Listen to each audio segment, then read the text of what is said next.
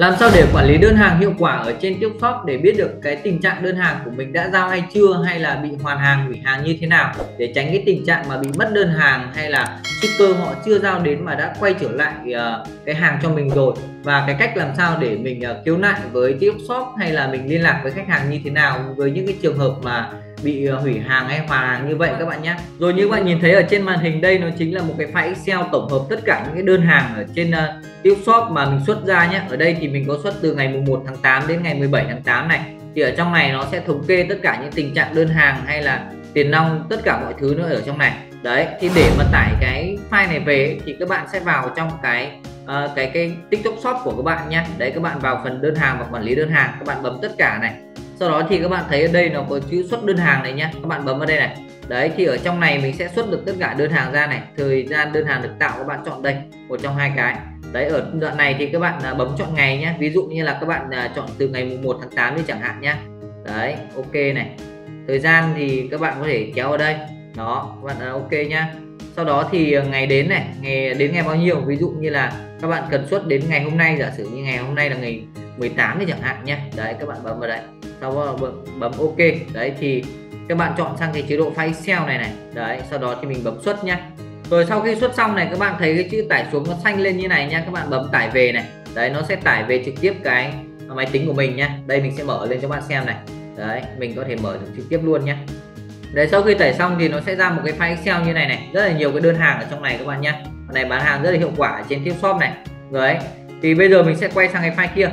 Rồi bây giờ các bạn nhìn thấy ở đây này ở trong cái phần tình trạng đơn hàng này nhá thì các bạn chú ý cho mình này. Thì cái to ship này là những cái đơn hàng mà đang đợi để lấy hàng các bạn nhá. Waiting collection này đang đợi để uh, lấy hàng này. Cái cancel này là cái mà đơn hàng đã bị hủy các bạn nhá. Đấy hay là cái cái ship này là cái là đã giao này. Có nghĩa là các bạn đã đã đóng hàng và đơn vị vận chuyển họ đang giao rồi. Đấy đang giao rồi nhá. Còn những cái đơn hàng nào mà đã xong rồi thì nó sẽ hiển thị cái chữ như này. Đây các bạn kéo dưới này này đây các bạn nhìn thấy chưa? Completed này. Thì đây nó chính là những cái đơn hàng mà đã giao xong rồi các bạn nha. Còn những cái đơn hàng mà đang giao này thì các bạn cần phải kiểm tra này. Rồi bây giờ làm sao để lọc được nguyên những cái đơn hàng mà mà mình ví dụ như là mình chỉ cần lọc nguyên những đơn hàng mà đã bị hủy hàng chẳng hạn nhé thì cái cách là như nào? Các bạn à, bấm vào cái ô ngang ngang này, này sau đó thì các bạn vào cái phần à, phần view ấy. Các bạn vào cái phần ô data này các bạn bấm à, filter này thì nó sẽ lọc nó sẽ ra một cái mũi tên như này này. Đấy để mình lọc. Ở đây thì mình sẽ chọn nguyên cái nó ghi là là cancel thôi chẳng hạn nhé. Đây cancel thì nó sẽ ra tất cả những đơn hàng bị hủy cho mình này. Hay là những cái đơn hàng nào à, giả sử như là đơn hàng nào đang uh, đang giao đi chẳng hạn hay đợi để lấy hàng đi. Đấy thì nó sẽ hiển thị ra đây này. Đấy hay là những cái đơn hàng mà đã giao rồi chẳng hạn nhé đã xong rồi. Đấy thì các bạn bấm vào đấy thì sẽ ra hết. Thì uh, ở đây tạm thời mình sẽ để hiển thị tất cả lên nhé rồi tiếp theo này, các bạn kéo trong đây, nó có một vài cái thông số mà các bạn à, cần chú ý nhé đấy, thì đây nó chính là cái phần, mục này nó chính là cái phần tên sản phẩm của bạn này. Đấy, giá bán của bạn là bao nhiêu tiền này. Và thôi, tạm thời các cái này thì các bạn tạm thời bỏ qua nhé các bạn chỉ tập trung cho mình một vài thông số sau này. Thì à, đây nó cũng là cái giá này, các bạn nhìn thấy đây này. Ờ, ở trong cái mục nó khi là subtotal after discount, có nghĩa là cái giá cuối cùng mà khách hàng được ờ, phải trả khi mà khi mà họ ờ, thanh toán. Có nghĩa là cái này là cái tiền mà khi mà khách hàng họ thanh toán đấy ví dụ như cái đơn hàng này của các bạn là bao nhiêu tiền đây? Cái đơn hàng này của các bạn là 330.000 này. Thì uh, giảm giá nền tảng của nó là không không có không có giảm giá nền tảng. Đây cái mục này là chính là cái giảm giá nó cái phiếu giảm giá ấy. ví dụ phiếu giảm giá phiếu giảm giá là 20.000 chẳng hạn hay phiếu giảm giá 30.000 nó chính là cái nền tảng của thằng Tiêu shop. Cái này thì bên Tiêu shop họ sẽ trực tiếp chi trả tiền cho mình nha. Còn đây nó chính là cái phần mà à, giảm giá của các bạn đưa ra. Đấy thì khách hàng chỉ phải trả là à, 294.000 đó. Và tiếp theo này tiếp theo các bạn kéo sang đây nhá. Thì các bạn thấy là những cái đơn hàng này này những cái đơn hàng này các bạn nhìn đây là cái phần mà chi phí chi phí vận chuyển mà được uh, giảm giá ấy. đấy discount có nghĩa là cái giảm giá ấy, cũng như là cái phần miễn phí vận chuyển như cái đơn hàng này chẳng hạn nhá.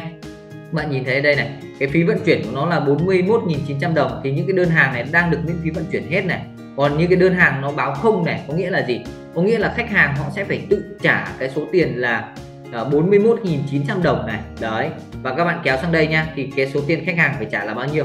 Là, đó là 335.900 à, đồng. Đó, thì nó sẽ cộng thêm với 294.000 cộng thêm à, 41.900 là cái cái tiền mà khách hàng phải trả thêm tiền phí ship ấy. còn tất cả những cái đơn hàng này này đấy tất cả những đơn hàng này là khách hàng họ đã được uh, miễn trợ được uh, TikTok họ trợ giá vận chuyển rồi. Đó thì như bạn kéo sang tiếp này kéo sang tiếp này đây.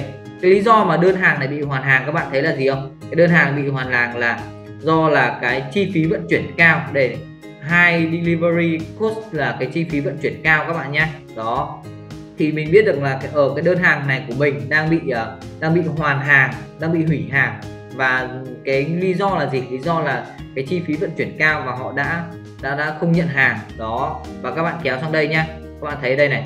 Ở đây nó có một cái mục mà các bạn cần chú ý này. Bình thường ấy thì là uh, cái thằng tiktok họ sẽ ẩn tất cả những cái thông tin của khách hàng đi về số điện thoại địa chỉ này. Đấy đây loại nào họ sẽ ẩn hết đi nha. Thì làm sao để mình có thể liên lạc với khách hàng với cái đơn hàng mà bị hủy này này? Đây mình tạm thời mình tiếp tục mình bấm sang những cái đơn hàng bị hủy nhá cancel là hủy này. Đây như cái đơn hàng này. Thì uh, đây này các bạn nhìn này. Thì nó có một cái uh, cái username của người mua này. Buyer username nó chính là cái ID kênh tiktok của họ thì các bạn uh, có thể là copy cái ID kênh này này. Các bạn uh, quay sang cái kênh tiktok của mình các bạn uh, vào trong cái kênh tiktok để các bạn comment ở trong cái phần bình luận video của họ, hoặc là các bạn ờ, vào trong cái đường link của họ để mình kết nối với họ, hỏi là ừ, là họ có muốn mua hàng lại hay là có cái xử lý những cái đơn hàng như thế nào. Đó đó là cái trường hợp mà khi mà các bạn muốn liên hệ với khách hàng khi cần nha. Đây, nó chính là cái phần ID kênh tiktok này, các bạn có thể liên lạc qua qua kênh tiktok các bạn nhé rồi đấy là tổng quan về cái để giúp các bạn à, quản lý đơn hàng này. Thì các bạn chú ý là mỗi cái lần mà các bạn à, một sau một khoảng độ tầm một tuần, các bạn bán hàng chẳng hạn, các bạn nên à, tải cái file này về nhé các bạn tải cái file này về để các bạn giả soát xem là những cái đơn hàng nào của mình bị hủy này. À tiếp theo này tiếp theo đó là gì? Tiếp theo là ví dụ như đơn hàng này của mình bị hủy đúng không ạ? Thì làm sao để mình có thể là ví dụ như là khách hàng mình bị hủy lâu rồi nhưng mà ở bên đơn vị vận chuyển họ vẫn chưa trả lại hàng cho mình chẳng hạn. Đó. Hay là những cái đơn hàng bị uh, giả sử như là ừ, khách hàng họ họ phản ánh là uh, đơn vị vận chuyển họ chưa giao đến nhưng mà bên mình đã thấy báo là bị cancel là bị hủy hàng rồi thì mình sẽ phải xử lý làm sao nhé đầu tiên là cái liên quan đến uh, xử lý những cái đơn hàng mà mà bị mất hàng nhé đấy thì các bạn quay sang cái TikTok Shop cho mình này. Các bạn quay sang cái TikTok Shop nha các bạn kéo xuống dưới ở đây nó có mục ghi là trung tâm trợ giúp này. Đó. Thì trong cái mục trung tâm trợ giúp này thì mình sẽ gửi được cái yêu cầu khiếu nại cho bên TikTok Shop nhá, các bạn bấm vào chữ yêu cầu hỗ trợ của tôi này. Đấy các bạn bấm vào đây. Sau đó thì các bạn à, bấm cho mình chữ tạo yêu cầu mới nhé rồi ở trong cái mục này này thì các bạn chọn chủ đề với những cái trường hợp mà cái đơn hàng của bạn đã bị hủy rồi mà các bạn chưa lấy lại được hàng ấy thì các bạn bấm cho mình vào cái mục ghi là khiếu nại à, khiếu nại khiếu nại và tranh chấp này này các bạn bấm vào đây. Sau đó thì các bạn bấm cho mình chữ vấn đề hậu cần nhé đấy ở trong này thì nó có nhiều cái lắm các bạn à, cứ cần à, xử lý về hay là có khiếu nại à, gì cần à, tiktok shop họ xử lý thì các bạn cứ vào trong này các bạn bấm nhá. Như cái này là phần à, xử lý về bên à, mất hàng chẳng hạn thì các bạn bấm vào phần vấn đề hậu cần này. Đây các bạn bấm cho mình chữ gói hàng bị mất nhá sau đó thì các bạn nhập cái ID đơn hàng vào. ID đơn hàng chính là cái này. Đây các bạn kéo sang đây này. ID đơn hàng nó chính là cái thằng này. Đây các bạn thấy không? Cái mã này. ID này. Order ID nó chính là cái ID đơn hàng nha. Các bạn uh, sao chép cái này vào. Đấy. Các bạn sao chép vào trong môn đó thì các bạn quay sang cái tiếp shop. Các bạn dán vào đây. Đấy các bạn báo ví dụ như là đơn hàng uh, tôi bị mất đi. Thì các bạn à, viết ở đây sau đó thì các bạn uh, à, bấm chữ gửi nha. Các bạn bấm chữ gửi.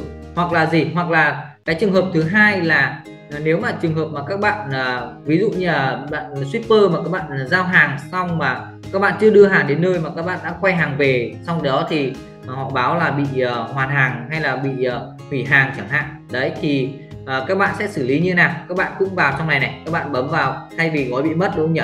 Thì các bạn bấm uh, ghi cho mình là các bạn kéo dưới này đây nhé ví dụ như là cái trường hợp là à, hàng bị à, hàng giao không thành công này. Đấy các bạn bấm cho mình chữ à, hàng giao không thành công nhé sau đó thì các bạn à, nhập cho mình là à, shipper giao hàng chưa đến xong thì đã quay trở hàng về. Sau đó thì các bạn bấm gửi. Các bạn nhớ là đưa đúng cái ID đơn hàng đấy vào nhé đó như vậy là mình đã hướng dẫn xong cho các bạn cái cách làm sao để mình à, quản lý đơn hàng hiệu quả trên tiếp shop để tránh cái trường hợp mà bị mất hàng hay là bị hoàn hàng ở trên tiếp shop hay là những cái cách làm sao để mình xử lý khi mà mình bị mất hàng hay là làm sao để mình liên lạc với khách hàng trên tiếp shop các bạn nhé Cảm ơn các bạn đã xem video. Nếu thấy video này hay thì đừng quên bấm đăng ký kênh và chia sẻ cho bạn bè để chúng ta cùng học nhé Chào các bạn và hẹn gặp các bạn ở video tiếp theo.